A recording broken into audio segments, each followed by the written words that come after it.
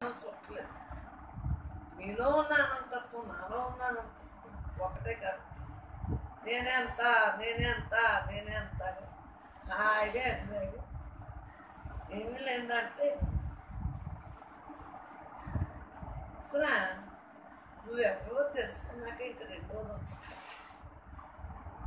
నువ్వే అంత అయినట్టు ఇంక దేని దేని మీద లక్ష్యం అంతా బ్రహ్మంగా అందువల్ల స్వచ్ఛంగానే ఉంటాం అసత్యమైనట్లనే అస్వచ్ఛంగానే వదలదు నిత్యానిత్య వస్తువు విచక్షణ జ్ఞానం మనకు తెలుసు ఏది అవును ఏది కాదు అవును అన్న దాంతో మనం ఉంటున్నాం కాదు అన్న దాంతో వదిలేసి ఏది అవును ఏది కాదు చెప్పండి అవును అన్నదేంటి బ్రహ్మం కాందేంటి నీ దేహం ప్రపంచం ఎన్ని నశించింది ఈ వస్తువులు అన్నీ మేళ మెదులు అన్నీ నశించు అట్లు కూడా ఏదో టైం అవుతుందా వెళ్ళిపో మరి నశించిన వాడు నువ్వైనప్పుడు నశించిన వాడుగానే ఉండాలి కదా.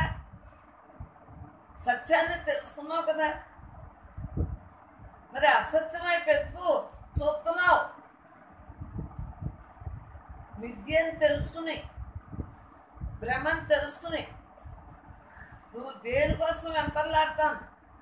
మీ మనస్సు దేని వైపు ప్రయాణం చేస్తాను నువ్వెవరో తెలుసుకున్నాక అనంతమైన హాయి మనలోనే అసలు దేహానికి లోపల ఉన్నోడికి సంబంధం లేదు కదా. వీడి ఆధారంతో దేహం ఉందంతే.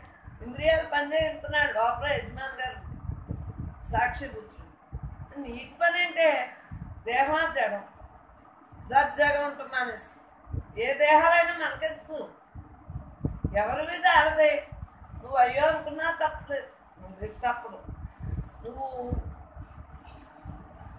ఏ తలంపులో ఉన్నా ఏది జరిగేది ఉంటే అది సత్యం ఎప్పుడు సత్యం. జ్ఞానంలో ఇప్పుడు మనకు సత్యం అంటే ఏంటో తెలిసిందా? మామూలు ఆటలకైతే అబద్ధం. సత్య అబద్ధం ఆడకూడదు అన్నది మామూలు నాటకంలో. మేము నేను పనంతా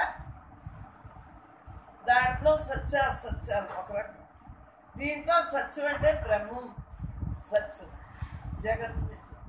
అందు గురించి సత్యం సత్యంగానే అసత్యంగా